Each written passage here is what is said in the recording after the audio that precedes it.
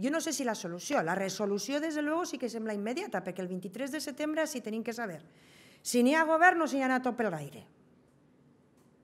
I si n'hi ha anat tot per l'aire, doncs ho pensarem el 23, de veres, perquè jo, de veres que no me veig en ànim ni esperit, ni, ni esperit de plantejar-me aquesta tessitura de noves eleccions.